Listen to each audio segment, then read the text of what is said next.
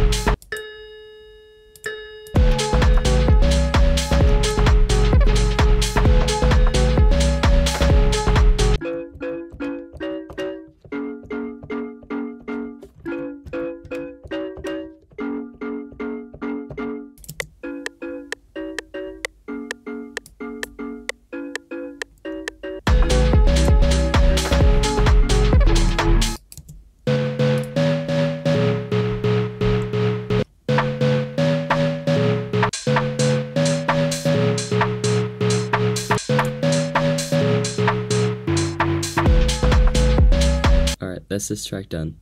This track is super hard, especially the second half of the drop. It reminds me a lot of Sam Gellaitry. So yeah, I'm gonna play the whole thing through.